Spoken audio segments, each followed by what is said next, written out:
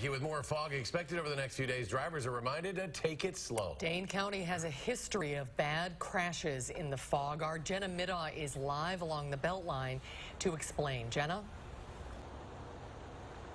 Well, Susan and Eric, besides the crash involving 29 cars near Verona on Monday, officials say one of the worst crashes in U.S. history happened in Dane County in 2008. Officials say more than 100 vehicles were involved and more than 50 people were sent to the hospital, all because of fog. The Wisconsin State Patrol says cars were going too fast and following too closely for the foggy conditions.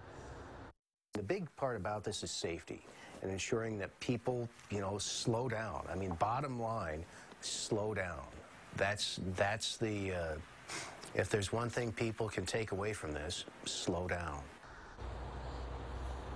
Crews were on the Beltline today clearing off extra snow to make sure that when the snow melts with the warmer temperatures like we had today, it can drain off the highways instead of freezing over. And McClellan says crews will be out removing snow from other highways around the county over the next few days to make sure these roads are as safe as possible in these potentially foggy conditions. Yeah, slow down. That's the takeaway. Everyone take good care. Jenna Middaugh reporting live. Thank you, Jenna.